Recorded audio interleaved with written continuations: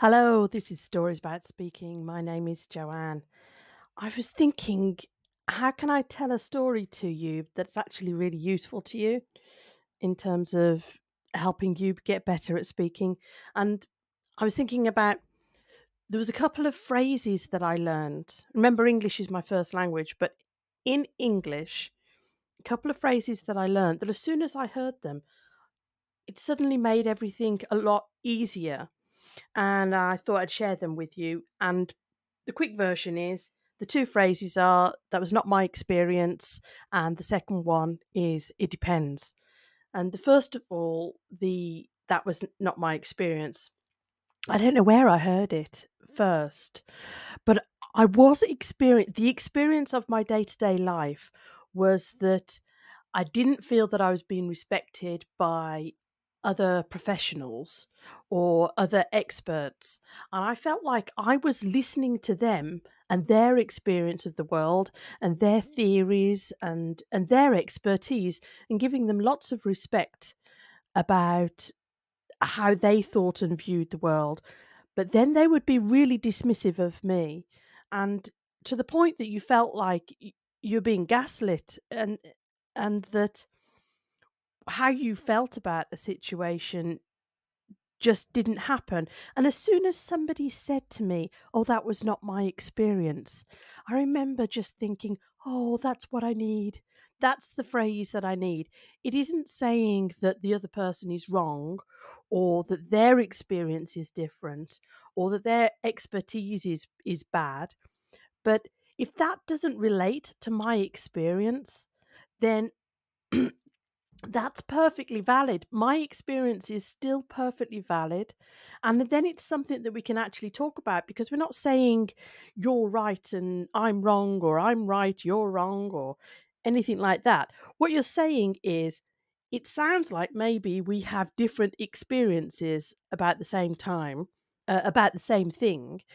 And and that's a useful conversation, don't you think? That's that's much better than saying well, the answer to this is X. And I say, well, I think the answer is Y. Not that I would even contradict people because in the early days, I was just, as I say, I was so in awe of how smoothly and fluidly people would express themselves and the certainty that they had, the certainty that Theirs was the right way, and there was no other way of viewing the world. I didn't have the vocabulary and I didn't have a way to express myself, to to question them or to be inquisitive or to even raise my own ideas in a way that felt as say respectful but also honest because I don't know I don't know who's right or wrong. I'm still figuring it all out. I would just like to be part of the conversation. That's the whole point about the speaking channel. I want to be part of the conversations that I'd like to be a part of. And a lot of the time, I'm silent. Sorry, excuse me. And as I say, this this phrase, I'm I'm smiling. If you're watching the video, I'm smiling. Uh, oh, sorry, if you're just listening, I'm smiling. This and sometimes I do it just in my head. Sometimes I think, well, that was not my experience. Because people may talk to me about university or work or how women are treated. And instead of feeling emotional and feeling squashed and feeling like they're not listening to me or or worse than that doubting myself and my own experiences and wondering if I'm just feeling a little bit crazy excuse me, got a tickle of a cough. That's worse. That's worse when you're doubting yourself. If you're secure in yourself when you're listening to somebody and they're saying something and it's different to your experience, but you feel secure and you feel that's okay. They have their experience, I have mine, and and maybe I need to express it and maybe I don't. I think for me what was worse is that I was I was doubting my own experience and my own conclusions about that experience. And and just to think in my own head, well, that was not my experience, creates a little bit of a, an emotional barrier for me that I can then put them and and also be inquisitive about What was their experience that led them to that? And part of that curiosity about their own experience has led me to reach out to a few people to do some interviews on this podcast because when I was teaching people, I was really connecting to people who felt nervous or anxious about speaking. But I did spot that there were people who felt very differently about speaking. And the trouble is, is that they were struggling to express themselves clearly. So it was really hard for me to figure out what their experience was. And um, as I say, I've reached out to a few people. I've got three people already saying that they'll be interviewed. And I'm really fascinated to know what their experience is and more detail than that. Like, how did, you know, they have a particular experience, they explain and interpret that experience a certain way. I want to connect the dots. Are people who find speaking hard struggling with the language or struggling with that self conscious feeling of hearing their own voice. Anyway, I've digressed again. I love the word digress. It is about that was not my experience. And then they reach their conclusion. And we talk a lot about the problem and the conclusion, but we don't always talk about the experience in between and all those things that are happening. And yet we all know we're all having different experiences if we stop and think about it. So I'm really curious to know what other people are feeling. And I know for a fact that when I heard this expression, that was not my experience. Even if I say it just to myself, it changed the way I communicated and interacted with other people, and and in particular people who were super certain about this is the way forward and this is what I believe and this is the answer to this particular problem. So I leave that with you. I hope that helps that uh, for you to organize your thoughts a little bit. But the second one was it depends. And I didn't figure this out. I was in my I was in my early 30s and I haven't said much about the professions that I used to do, but I used to be what's called a chartered surveyor. So that was involved with managing commercial property and doing valuations of commercial property.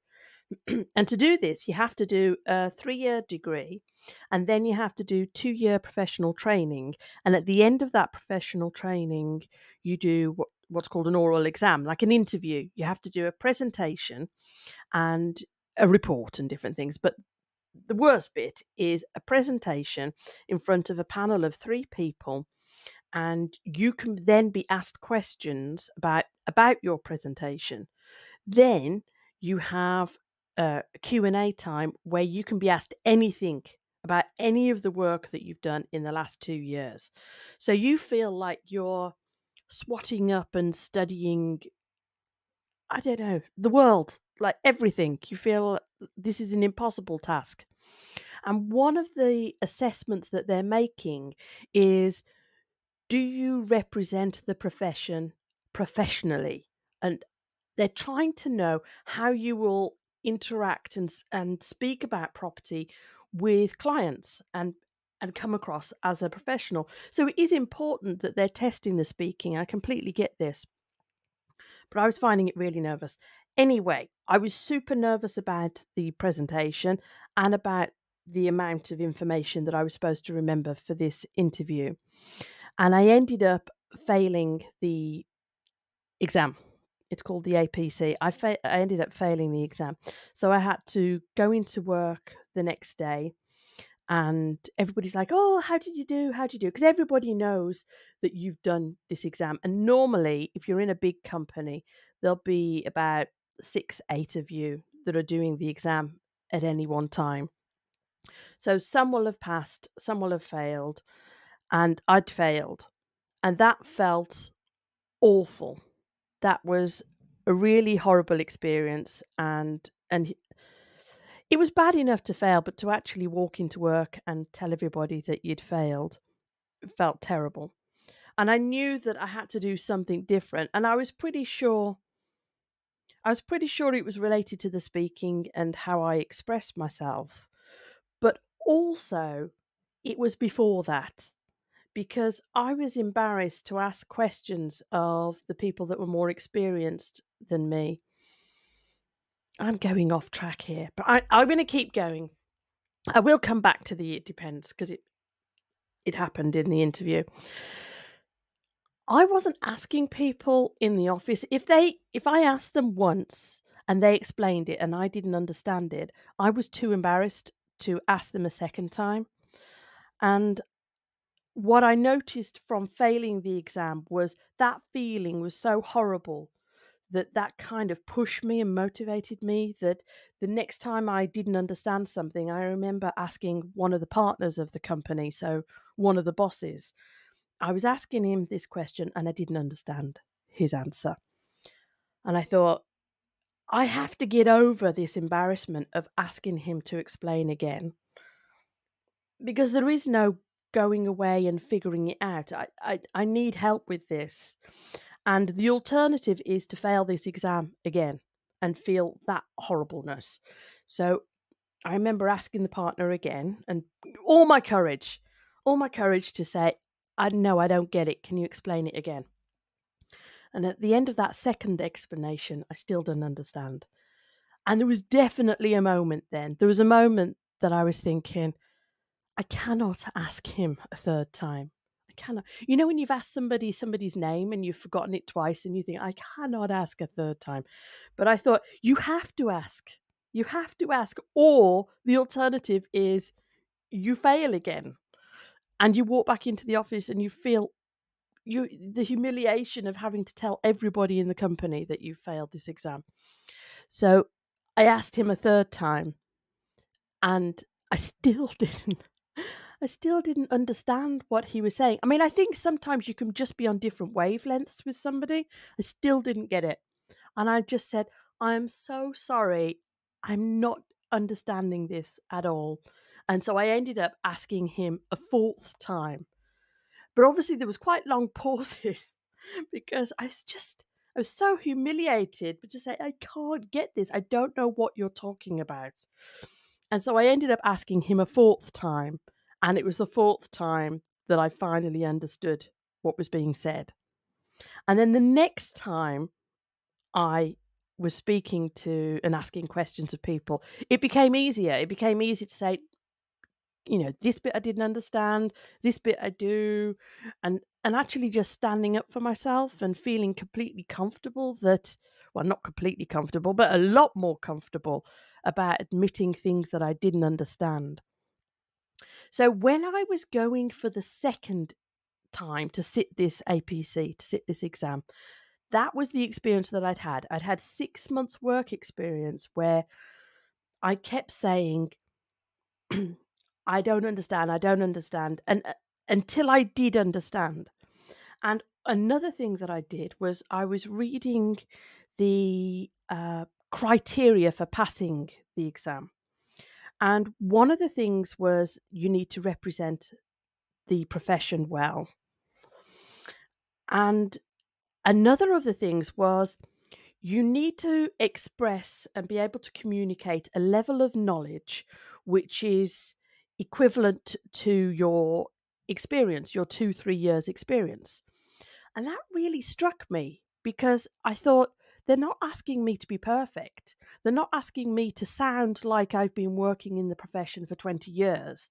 They're asking me to represent myself well as at three years. And part of that will be to say, I don't know or I'll go check on that. And really, that's part of being professional, isn't it? To say, this is part of my experience, this is part of my knowledge, and this is not. And that really got me thinking about how I was going to be answering the questions in this exam. Because prior to that, I thought you have to answer all of the questions to pass, you have to know all the answers to everything. But uh, in this second time of going into the exam, I thought you don't have to know everything about everything. You need to trust that you've had this two, three years experience and and what you know, you know, and what you don't know, you don't know. And that is how you go into the interview. And one of the realizations I had was that a lot of people had a lot of experience in one particular area. So, for example, they'd always worked with offices, or they'd always worked in a in a particular area of London. And when they were asked questions by the examiners, for example, should you invest in industrial units at the moment? Is this a good time to invest in industrial units? If they'd had loads of experience working in industrial units, they would jump in and say, yes, whatever, and jump on with their answer. But the examiners wanted you to treat them as if they were a client and you to represent yourself as a professional. And what they needed you to do is to ask for more information from them. So the correct answer wasn't, yes, da da da da da da, here's all the knowledge I know about this subject. The correct answer was, it depends. What's your attitude to risk? What is it that you need from your investment? How are you planning on managing it? Da, da, da. And just slowing things down a bit. And the interesting thing about the phrase, it depends, from a brain science, behaviorist, whatever type of um, viewpoint, is that when you say it depends, you're telling your brain there's a yes answer and there's a no answer based on more information from this person. There's a yes scenario and no scenario. There's a, you know, should I invest in this? Yes, if you have these kind of, kind of desires and this kind of money. Or no, if you have these kind of things going on in your life. And that is what makes you sound like a professional, in my opinion, where the yes answer and jumping into the information makes you sound knowledgeable, but it kind of makes you sound like you're selling something. And I found I found in the exam that the it depends helped me slow down and think of the different scenarios and different possibilities rather than jumping into what the majority of my experience was about. Just slow down. It depends. It could be this, it could be that. And also in the exam, I found myself completely comfortable saying, no, that's outside of my experience. I would have to check with a colleague. And if you're wondering, yay, I did pass the second time. And that felt a lot better than failing the first time.